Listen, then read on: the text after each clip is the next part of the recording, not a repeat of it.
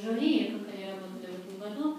Но я всегда рассказываю такую страшную историю. Представьте себе жаркий-жаркий конец июля, жаркое-жаркое начало августа. Сидят студенты в разных городах и не подозревают, что скоро на них пойдет перс судьбы в виде э, злобного преподавателя, который решил проявить их и свою э, социально-культурную активность, а именно привлечь к прочтению поэтических книжек.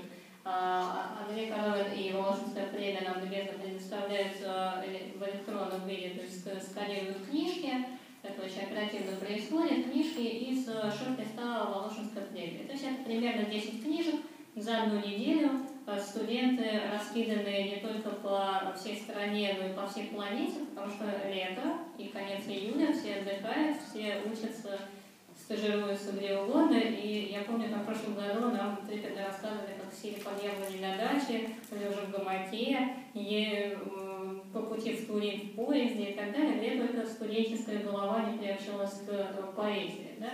Вот, э, в этом году э, среди наших членов жюри были ребята из Кемерово, и я зачитаю потом некоторые послания участников из Кемерово. А, с нами сегодня присутствует а, председатель жюри а, Саша Бакова, представитель РДГО. Саша, кстати, посмотрим. У нас традиционно именно представитель РДГО, как, как нам социально близкий и, и, и понятный человек, является председателем жюри. Пока. Пока. Ну, все меняется. Мы отдадим. Вы же понимаете, мы, мы расширяемся, явно скоро можно выходить за пределы России, вузы-партнеры, которые готовы это с нами делать, поэтому все еще изменится, Земша выберет себе нового правителя. Да, а с нами здесь э, Оля Назарова, представитель ГПУ, а, и э, тоже сегодня мы предоставим слово. А, и, собственно, Сейчас э, я, наверное, предоставлю слово в уже. формате расскажите. Что у нас будет происходить дальше, собственно. Во-первых, как голосование, ребята. Вы понимаете, э, главное условие для участия в конкурсе, помимо рекомендаций преподавателя, очень строгий, бесстрастный, конечно, преподаватель выбирает человека, который ласково на него посмотрит после того, как его привлекли в конце июля на неделю к работе. Да? Э, строгим зоем э, все равно посмотрит, но выполнит свою работу вовремя, в срок и э, два раза зайдет в интернет, скачать книжки и потом прислать свое голосование.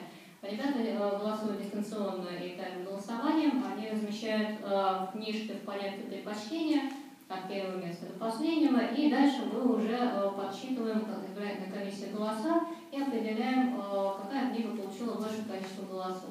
Да, мы обычно еще выделяем такую тройку победителей. Да, наверное, я оглашу, что в этом году у нас а, второе место заняла книжка «Все свои» Людмилы Херсонской, замечательной поэтессы.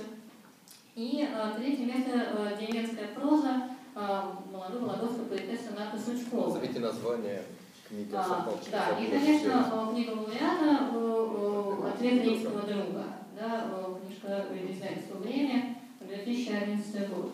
А, мы предложили э, ребятам, которые здесь присутствуют, и э, тем, э, кто хотел заочно принять участие в нашем сегодняшнем заседании, выбрать способ представить других поэтов, не лауреатов, которые, к сожалению, сейчас мы не можем послушать, да, но мы послушаем исполнение ребят, и в частности я бы хотела предложить предоставить слово Саше Бабковой для того, чтобы послушать, э, кто кроме э, нашего замечательного лауреата придет ее внимание, да, и сказать пару слов об этом.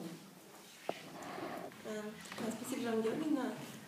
После меня будут рассказывать вам о поэзии Нацичковой и Людмилы Херсонской, но я бы, наверное, хотела поговорить немножко о другом. Вот, и я расскажу немножко про сборник стихов Андрея Чемоданова «Я буду все отрицать». Вначале он берет эпиграф из Тома Уэйтса, который звучит так, что я расскажу вам все свои секреты, но совру о своем прошлом. А, вот, и то есть тут тоже есть определенная концепция, что какое-то выстраивание биографии. Вот. И когда мы читаем стихи, мы воспринимаем это по-разному. Когда мы читаем, нам хочется какой-то от стихов какой-то серьезности и классичности, но мне кажется, что ну, мы не всегда как-то должны требовать. Вот. И когда мы читаем стихи, а наши установки нарушаются, нам это несколько странно. Например, мы читаем, и нам вдруг становится смешно. И, или мы не слышим какого-то привычного размера. Вот. И нам как-то, когда, если это происходит, нам сразу хочется сказать, э, ну почему стихи написаны так просто, почему рифма не такая. И какой нам, ну, почему нам должно быть важно, что Чемоданов вот пишет такие стихи. Вот. И ну, действительно хочется э, сказать, что ну, сначала хочется сказать, что э, как будто бы поэт описывает свою жизнь, потому что там э, эпизоды из детства какие-то, случаи с отцом, какие-то неловкие смешные ситуации. Потом идут стихи о любви. То есть, в принципе, сложно. Чемоданов, который пишет о любви, это довольно сложно представить. Э, Вот. Потом пишет о трудностях, которые преследуют сочинителя стихов, очень все это э, подробно описывает. Вот. На самом деле эти простые строчки э, ну, довольно сложно устроены. И в стихах о детстве ты читаешь, и память начинает реагировать на какие-то цитаты из детских песен, книг, и ты пытаешься это вспомнить все. Вот. А потом он берет какой-нибудь советский мотивчик и заполняет его каким-то совершенно другим содержанием. Вот, и получается, что это не просто стихи о каком-то поэте Чемодана, это определенный лирический цикл с лирическими героями, определенной концепцией. Я рассказываю свою, био- свою биографию, но я лгу о своем прошлом. Э, Вот, мне кажется, что это очень интересно, как он выстраивает этот сборник, как он описывает время, какие эпизоды он выбирает. И как через весь- сборник проходит ирония, направленная прежде всего на себя. И как э, присутствует это постоянное ощ- ощущение неуверенности. Он чувствует это и ребенком, и во взрослом состоянии то же самое. Вот так что мне кажется, что не все, не, не стихи, которые кажутся простыми, на самом деле они такими не являются. Вот. И, и я вам прочитаю одно стихотворение, но мне показалось это довольно... Да. Я вам прочитаю одно стихотворение, мне просто показалось это довольно забавным, что если спрашиваешь у кого-нибудь, знаешь ли ты стихи Чемоданова, все почему-то сразу называют один стих, э, ну, э, одно стихотворение, извините, да, э, что Чемоданов это тот, который написал про Машу, не Машу. Вот. И мне показалось ну, это забавным, что теперь 40 человек студентов аудитории, они тоже будут помнить Чемоданова по этому одному стихотворению, ну хотя бы по этому одному. Вот. Э, И я вам теперь прочитаю стихотворение. Э, Этим утром вплотную к ночной постели, зеленые, как абсент человечки, с красными, как абсент, глазами, наклоняется, шепчет в уста «Я Маша». Но я знаю не Маша, никто не Маша, кроме Маши. Как сильно стучатся в сердце единороги, кентавроноги, тяжкий выдох в пах вдохновит. Я Маша, но я знаю не Маша, никто не Маша, кроме Маши. Испорченным телефоном из крысиной норы вылезает белка и говорит «Я хомяк», говорит «Я солнце», но я знаю не Маша, никто не Маша, кроме Маши, которая понимаша, но это не то, а что-то совсем, совсем. Спасибо.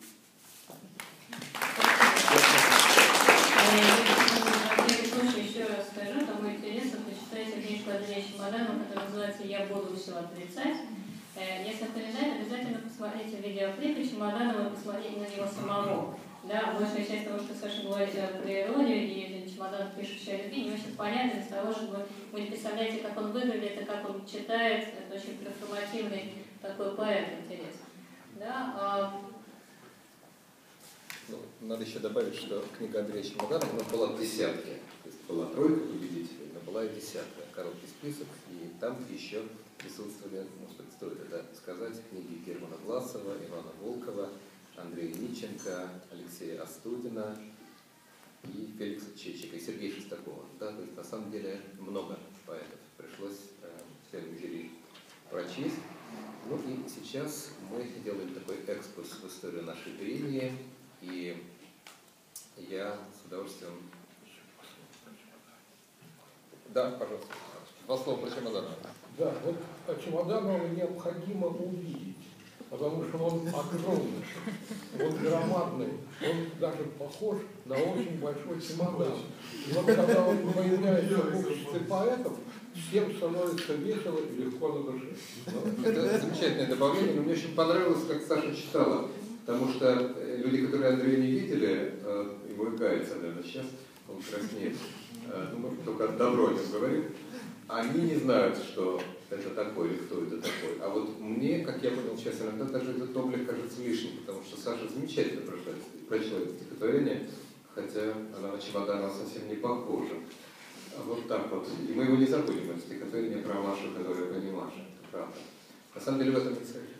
Никогда больше не забыть. Если бы он читал Чемоданов, все бы выучили его наизусть. Ну, может быть, может быть, принимается поправка Михаила Свящева, которого, собственно, я предоставляю слово, он нам, это первый лауреат э, нашей премии, лауреат позапрошлого года, и он нам сейчас прочитает стихи. Пожалуйста, можно здесь, можно там, как вам удобно. Попробую сидя для разнообразия. Пожалуйста. так вот слышно что-нибудь в микрофон? А, ну. А вот, нормально, смотрите. Ну, как вам удобно? Так хорошо слышно? Да, вполне.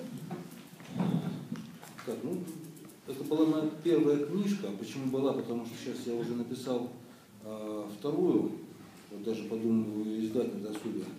А, конечно, э, вообще как- какие-то претензии на какую-то премию у меня никак с этой книжкой связаны не были. Я радовался ей самой по себе. Когда она была выдвинута, мне стало любопытно, когда попал в шорт-лист, стало еще любопытнее. Вот. Ну и неожиданно вроде бы такая вот дебютная приятность.